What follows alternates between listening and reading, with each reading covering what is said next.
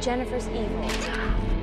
She's actually evil, not high school evil.